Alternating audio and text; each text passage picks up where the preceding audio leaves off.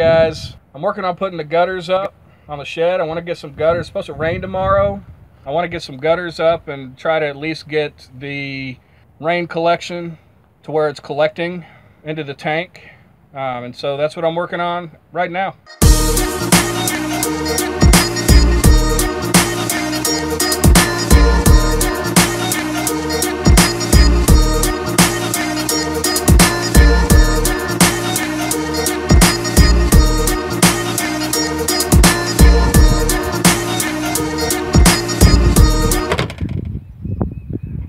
So I made my first mistake. I got the gutters up. And this here is gutter guard. They make all, all different kinds of gutter guard, but I got this one specifically because you may or may not be able to see. It's got a little mesh on top of it. So it's not only got the big holes to stop leaves and sticks, but it's got a little mesh that stops smaller stuff like seeds and whatever else might be up on the roof when it first starts raining. So I got this one specifically for that purpose. But I'm learning with these Amish built buildings that uh, they're not built with the foresight of having gutters installed. And so I had to, I, I, was supposed to put this underneath the roof first, see, and then install the gutters. There's just too much room. There's too much space that has to go under the gutter or under the roof. Too much of this has to go under the roof for me to be able to get it all up under the roof and still be able to snap onto the gutter. So I'm gonna have to take this side off or at least loosen the bolts so I can get this underneath the roof so the water will flow on top of this instead of having it like this where the water is going to flow under it.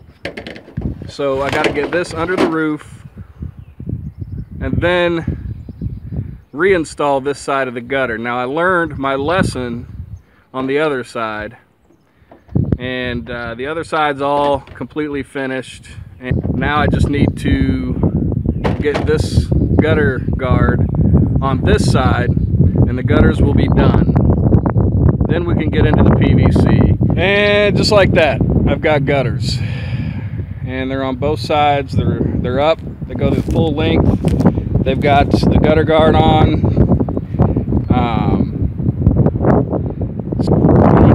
now is these outlets coming from the downspouts are going to go into a big piece of PVC. Let me let me co coordinate myself here. There's going to be a big piece of PVC going right here, piping, plumbing. So all the water that gets collected from the gutters is going to go into this PVC pipe and it's going to get directed down into a hole which is going to be in the back of the building and it's going to go inside into my rain tank.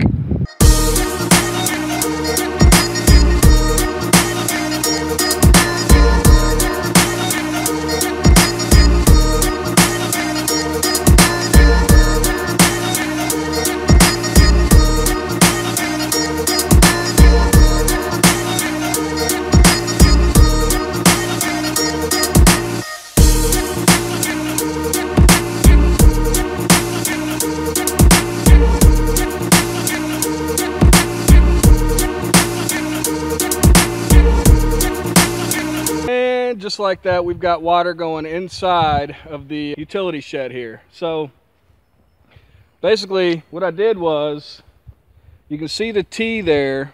Let me see. Yeah, you can see the T right there. That's going to go down. There's the end of my first flush diverter. And then it comes out of the first flush diverter. And I had to cut a four and a half inch hole in the back of the utility shed. And that's where the water goes in and it's going to flow into the tank. And I'm going to take you inside here in a minute and show you how that's going to go. But first, I want to go over this first flush diverter. All right, so the first flush diverter comes with, it's actually a kit that you can buy, rainharvest.com, I think is the website. It's a kit that you can buy specifically designed for rain collection systems. So the first flush diverter comes with this T right here. It's got this little plate that fits up inside of this T. And what happens is, once I put this section of pipe, the pipe does not come, the PVC does not come with the system because the length of the PVC is going to depend on the size of your roof and how many gallons you need to collect as a first flush. So it does not come with the pipe, but it does come with the end of the pipe here, which I've got it on there pretty well. But um, it comes with this piece and then all the way up to this piece. Now this is the bottom section, so it's actually going to go upside down like that. And as this fills up with water, from the first flush, the first uh, the first half an inch or so of rain, it's going to slowly leak out of this. That's how it drains, but not so fast that the clean water comes out through this. The clean water is going to go through this T. Once this gets full, it'll go through the T. This ball is going to float all the way up to the top, and it's going to block all of the stuff that it collected in this tube is going to get stuck in here because this ball is going to block it with that little insert inside the T.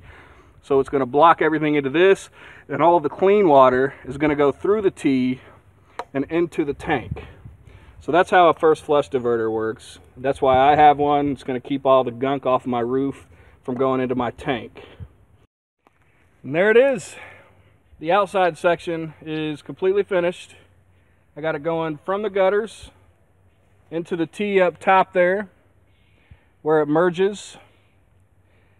And then all of the water from my roof goes down into this T, if I can coordinate here, into this T where that's my rain, that's the rain collection, the first flush diverter, where once this fills up, that ball is going to go from the bottom, it's going to slowly float up to the top, up to that little round piece.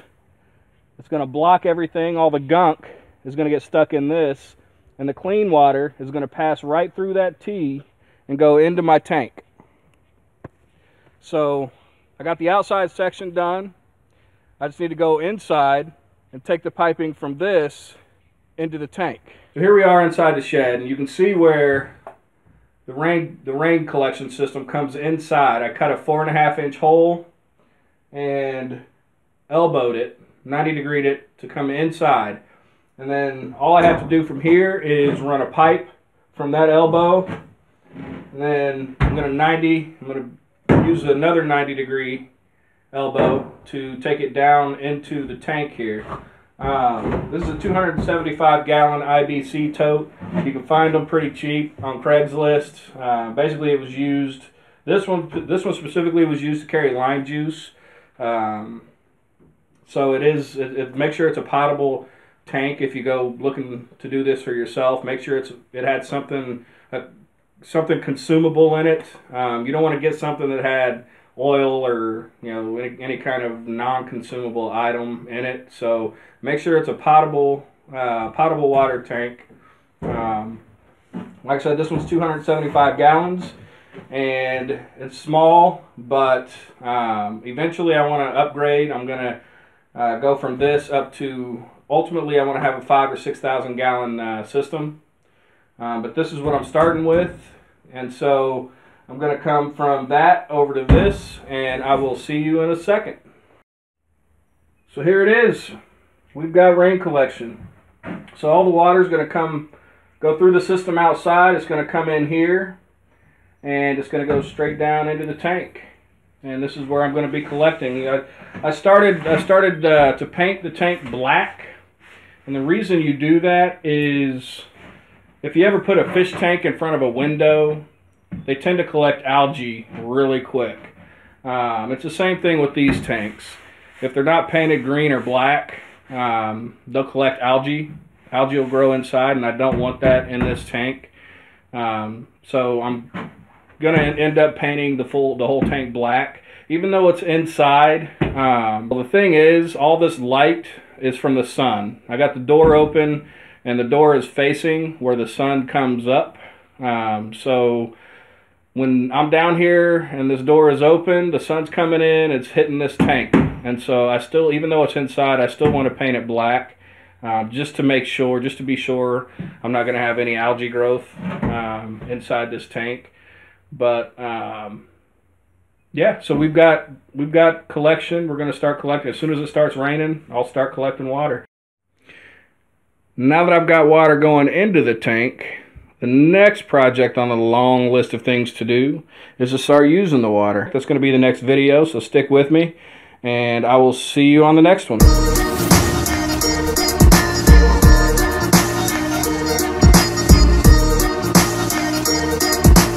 Side note, I don't come from a construction background. I'm not a professional. I have no clue what I'm doing. So don't do what I do.